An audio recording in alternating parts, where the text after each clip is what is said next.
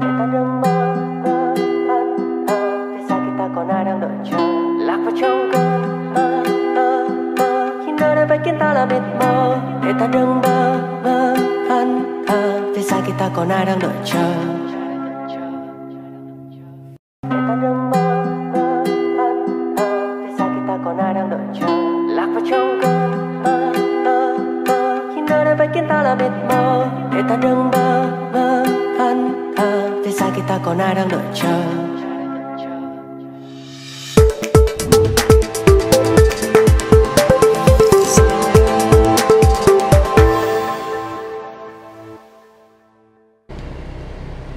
Nhật Minh xin chào cả nhà.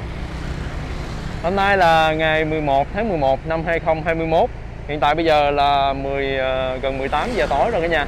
Thì cả nhà thấy ở tại thành phố Vĩnh Long á à, Hôm nay cũng chia sẻ với nhà luôn là một cái mũi mưa Phải nói là mưa dầm luôn, dầm về luôn mưa từ lúc mà 12 giờ mấy tới bây giờ cả nhà vẫn còn đang mưa lắc lắc. Nhưng mà hôm nay thì mình sẽ quay trở lại với cả nhà về cái bản tin Covid-19 ở tại tỉnh Vĩnh Long thông qua số liệu của sở ờ, thông tin truyền thông ờ, tỉnh Vĩnh Long nha cả nhà. Nói chung là những cái thông tin mà mình chia sẻ với nhà đều là những cái thông tin chính thống. À, mình không có đọc uh, những cái thông tin dự đoán đâu cả nhà. Mà mình uh, lấy những cái trên những cái trang web chính thống ở tỉnh Vĩnh Long. Thì uh, bản tin Covid-19 chiều ngày hôm nay là 11 tháng 11 năm 2021 như sau. Thì uh, tính từ uh, 7 giờ sáng tới 18 giờ tối ngày hôm nay là tỉnh Vĩnh Long ghi nhận thêm là 27 trường hợp nghi nhiễm Covid-19. Như vậy là trong 24 giờ qua trên địa bàn tỉnh ghi nhận á, tổng cộng là 159 trường hợp nghi nhiễm nha cả nhà. Số lượng rất là cao luôn. Thì à, cụ thể như sau: 82 trường hợp qua xét nghiệm sàng lọc à, cộng đồng. Thì à, cái à, số liệu là phường Cái Vồn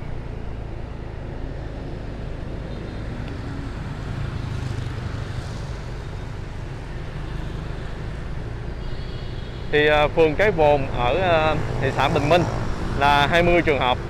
Xã Đông Bình ở thị xã Bình Minh là 4 trường hợp. Xã Hiếu Nhơn ở huyện Vũng Liêm là 4 trường hợp. Xã Hiếu Nghĩa, huyện Vũng Liêm là một trường hợp. Xã Trung Hiệp, huyện Vũng Liêm là một trường hợp. Xã Hiếu Thành, huyện Vũng Liêm là một trường hợp.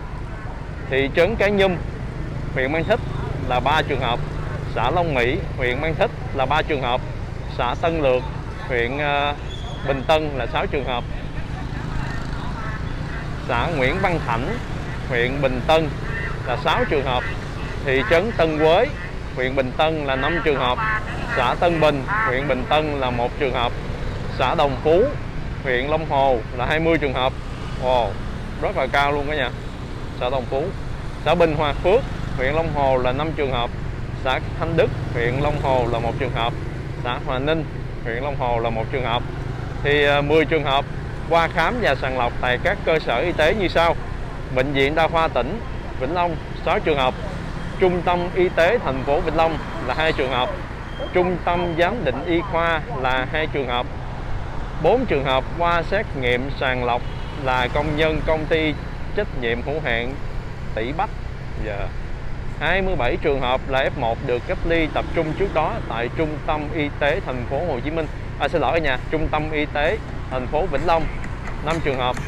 Trung tâm Y tế huyện Long Hồ là 21 trường hợp. Trung tâm Y tế Bình Tân là một trường hợp.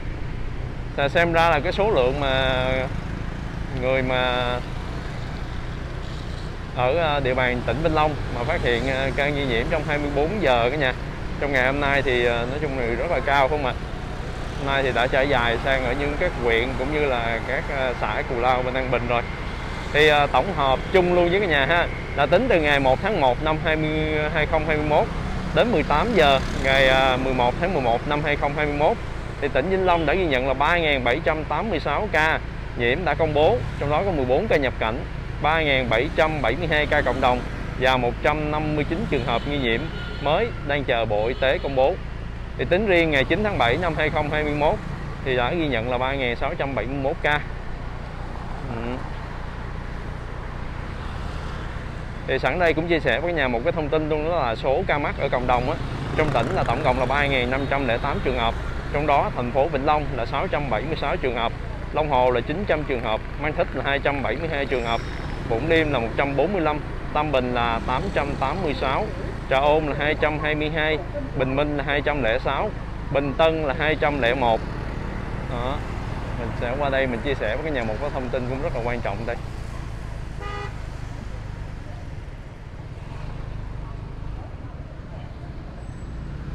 Số ca mắc ngoài tỉnh đó, à, thì à, gồm những người từ à, Tiền Giang, Đồng Tháp, Cà Mau, Thành phố Hồ Chí Minh, Bình Phước, Vĩnh Long à, đến Vĩnh Long xét nghiệm và sàng lọc và là phát hiện đó cả nhà. Thì cũng chia sẻ với nhà về cái tình hình mà số lượng tiêm vaccine luôn nha. À, về cái vấn đề tiêm vaccine đó trong ngày á à, thì độ tuổi 18 tuổi trở lên đó là tổng cộng số lượng tiêm trong ngày là 20.082 người tỷ lệ rất là cao luôn cả nhà đối với người từ 18 tuổi trở lên đó cộng dồn thì đã tổng cộng là 357 người. Thì à, số người đã tiêm mũi 1 là 749.437 người. Số lượng người tiêm mũi 2 là 227.930 người. 920 người nha cả nhà. Dạ.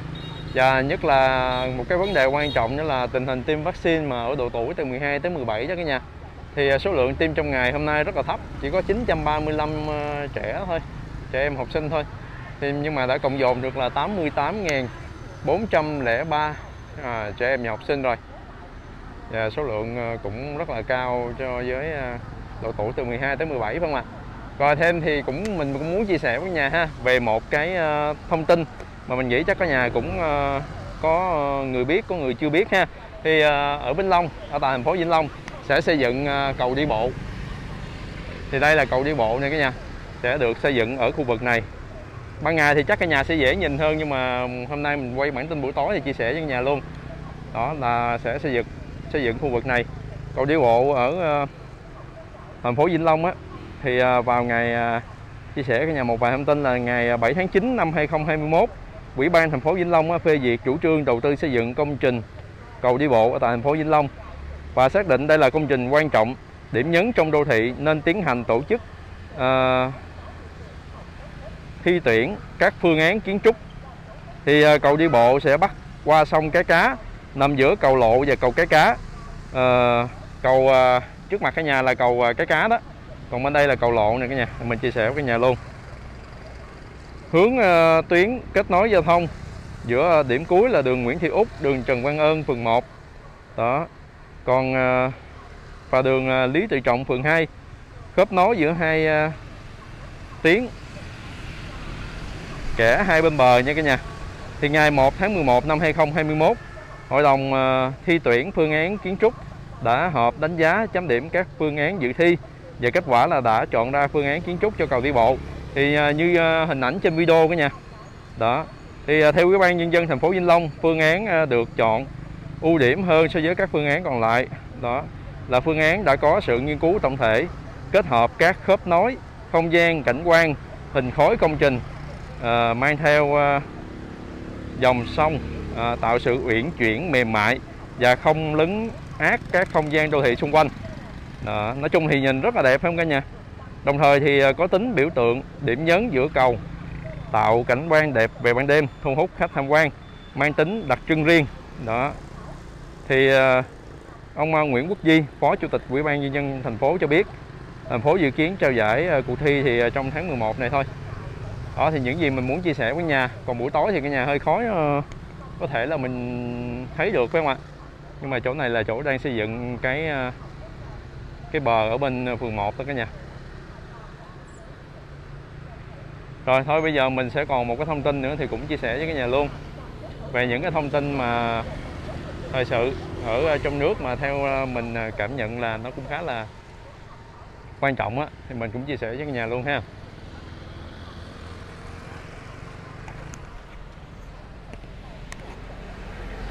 Rồi, bây giờ chúng ta vừa vừa tham quan thành phố Vĩnh Long trong buổi chiều tối mưa như vậy.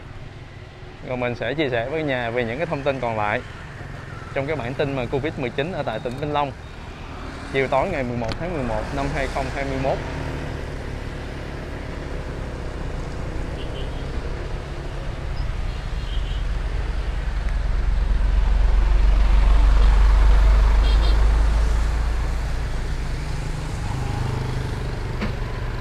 Dạ rồi thì còn những cái à, bản tin à, tiếp theo mình chia sẻ với cái à, nhà như sau nha. Bộ trưởng bộ giáo dục và đào tạo á thì uh, quyết tâm là mạnh dạng đưa học sinh vùng xanh trở lại trường học. Đó. Thì uh, theo bộ trưởng bộ giáo dục đào tạo đối với các đơn vị cấp thấp như xã phường nơi nào đang là vùng xanh an toàn thì nên mạnh dạng đưa các cháu quay lại trường. Dạ rồi, rồi một cái thông tin à, liên quan tới uh, thành phố Hồ Chí Minh đó là Phó Chủ tịch Ủy ban nhân dân thành phố Hồ Chí Minh phân tích 3 ngày qua tình hình ca tử vong có dấu hiệu là đáng lo. Thì uh, Phó Chủ tịch uh, Ủy ban dân thành phố Hồ Chí Minh Dương Anh Đức cho biết phân tích trong 3 ngày qua tình hình ca tử vong có những dấu hiệu đáng lo ngại. Đó là bắt đầu xuất hiện số trường hợp người dân đã tiêm hai mũi vaccine nhưng vẫn tử vong. Đó, đó là một cái uh, vấn đề đang rất là nhức nhối cả nha.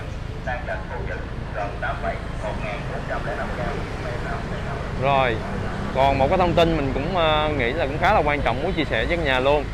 Đó là ở uh, bạc liêu thì uh, có hai uh, công ty thủy sản á, thì uh, làm lây lan dịch bệnh uh, covid 19 cho hơn 1.000 người. Hai công ty này thì bị phạt là 40 triệu đồng Đó. Dạ rồi, ngoài ra thì cũng có một cái vấn đề mà chăm sóc các người bệnh như sau. Đó là Sở Y tế Thành phố Hồ Chí Minh ra văn bản mà khẩn mà chấn chỉnh việc quản lý chăm sóc F0 tại nhà. À, thì ờ, Sở Y tế Thành phố Hồ Chí Minh yêu cầu tất cả các trường hợp F0 đang cách ly tại nhà và cơ sở cách ly trên địa bàn phải được cấp phát túi thuốc điều trị Covid-19 trong vòng 24 giờ kể từ khi tiếp nhận. Túi thuốc điều trị Covid-19 ở tại nhà là phải đúng thành phần và theo hướng dẫn. Thì đó là những cái thông tin uh, mà thời sự uh, về bản tin Covid-19 ở tại tỉnh Vĩnh Long cũng như là ở uh, những cái bản tin ở Việt Nam là mình muốn chia sẻ với cái nhà như vậy. Dạ rồi thì sẵn đây thì cũng chia sẻ với cái nhà luôn về cái quan cảnh của người dân ha ở tại Vĩnh Long trong buổi tối ngày hôm nay. Thì cái nhà thấy là trời vẫn còn đang mưa lắc rắc ở đây. Cái nhà thấy đường phố Vĩnh Long bây giờ lên đèn rất là đẹp đúng không ạ? Thì à, mình thấy cũng có một cái điểm à, nhấn mà muốn chia sẻ với cái nhà là ở dưới khu à, trung tâm thương mại Vincom á là đang được lắp ráp xây dựng cây thông Noel. Đó cũng là một cái điểm nhấn mà mỗi năm mà chúng ta thường hay thấy, mà bây giờ là Vincom đã bắt đầu xây dựng rồi, lắp ráp rồi. Bây giờ mình sẽ mời cái nhà đi xuống dưới đó ha, để chúng ta xem cái tiến trình như thế nào rồi.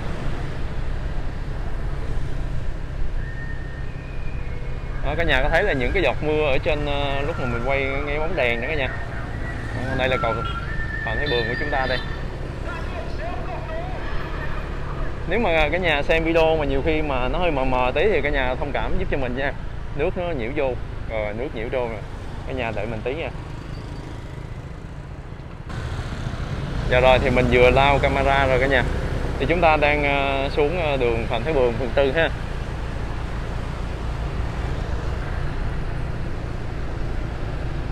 Thì đối với tuyến đường Phạm Thái Bường phần tư này khi mà chúng ta đổ dốc thì bên tay trái và bên tay phải là sẽ có hai cái quán cơm tắm đêm. Mà hay còn gọi là cơm tắm hè phố cả nhà. Ở Vĩnh Long á, bán rất là ngon mà giá rất là bình dân luôn, chỉ ờ, khoảng 20 ngàn thôi, một hộp thôi. Ở khu vực này thì chúng ta đang đi ờ, xuống dưới này. Ở chúng ta có những cái xe mà bắp xào ở đây cả nhà. Đó, ba chiếc xe, bốn chiếc, ba chiếc. Như đầu chiên đó hoặc gà nướng rồi đó.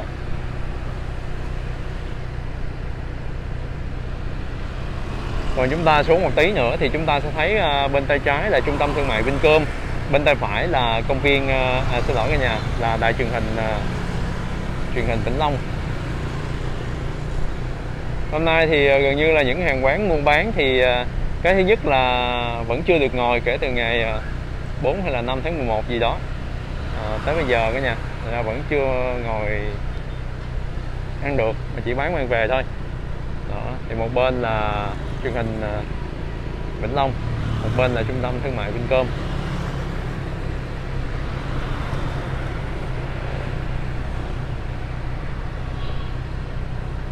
Cả nhà có thể thấy được cái à, cái khung của cái thông Noel không ạ? À?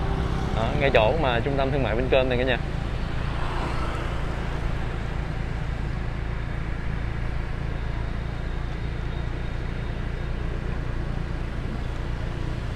Cái thông đó thì ờ, nó rất là to so với nếu mà chúng ta mà nhìn nó bằng mắt thường ở bên ngoài nha cả nhà. Còn trong video thì nó cũng ờ, không có được to lắm.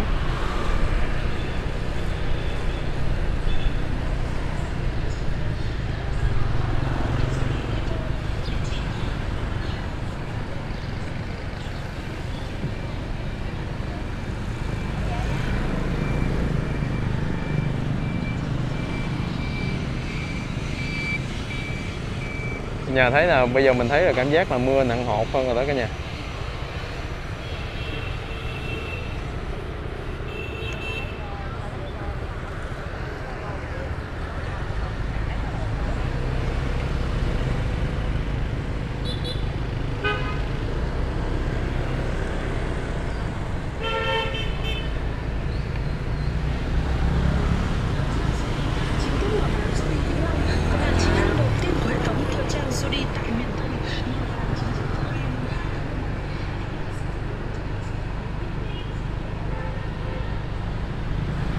Cả nhà có thể thấy à, cây thông Noel đó cả nhà.